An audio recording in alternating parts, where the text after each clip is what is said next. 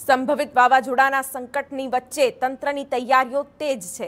અસરગ્રસ્ત તમામ છ જિલ્લામાં એક્ટિવ કરાયા સેટેલાઇટ ફોન. વાવાઝોડા સમયે સંપર્ક યથાવત રાખવા આ સેટેલાઇટ ફોન એક્ટિવ કરાયા છે.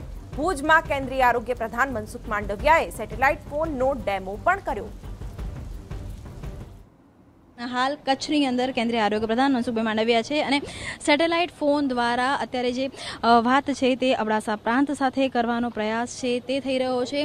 હાલાકી અત્યારે તમામ જે ટેલિફોનિક લાઈનો છે તે કન્ટિન્યુ છે અને સતત જે વાતચીત છે તે પણ થઈ રહી છે. પરંતુ જો વાવાઝોડા બાદ એક સિવિયર અસર છે તે થતી હોય અને ત્યારબાદ જો તમામ જે લાઈન છે તે જો ખોરવાઈ જાય તો સેટેલાઇટ સિસ્ટમ દ્વારા, સેટેલાઇટ ફોન દ્વારા કેવી રીતે કમ્યુનિકેશન કરી શકાય, કેવી રીતે વાત કરી શકાય કેવી રીતે જે અધિકારીઓ છે વહીવટી તંત્ર છે તેની સાથે તાલમેલ કરી શકાય કમ્યુનિકેશન કરી શકાય. તેની માટે સેટેલાઇટ ફોનની જે વ્યવસ્થા છે તે કરવામાં આવી છે. લગભગ તમામ જિલ્લામાં એક સેટેલાઇટ ફોન છે તે રાખવામાં આવ્યો છે અને જેને કંટ્રોલ રૂમ સાથે પણ કનેક્ટ કરવામાં આવ્યા છે અને જે પરિસ્થિતિઓ છે તેને લઈને જે તાગ છે, તાગ મેળવવાનો પણ પ્રયાસ છે, થઈ રહ્યો છે. આપ જોઈ શકો છો કે મનસુખ માંડવિયા સીધા સેટેલાઇટ ફોન દ્વારા જે વાત છે તે અબડાસાના જે વહીવટી તંત્ર છે તેમની સાથે કરી રહ્યા છે અને અબડાસાની કેવા પ્રકારની પરિસ્થિતિ છે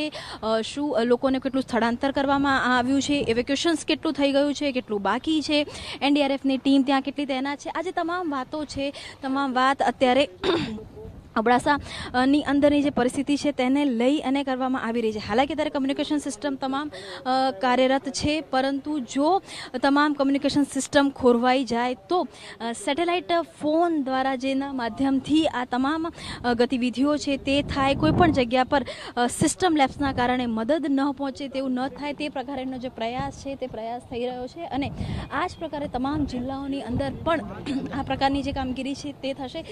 ઝીરો કેઝ્યુલિટી થાય, પશુઓ પણ બચી જાય, લોકોનું સ્થળાંતર થાય, તે માટેનો જે પ્રયાસ છે તે સરકાર કરી રહી છે અને તમામમાં સેટેલાઇટ ફોન કેવી રીતે ઉપયોગ થશે તેની પણ કામગીરી થઈ રહી છે. કેમેરામેન દીપક સાથે કિંજન મિશ્રા, ટીવી નાઇન કચ્છ.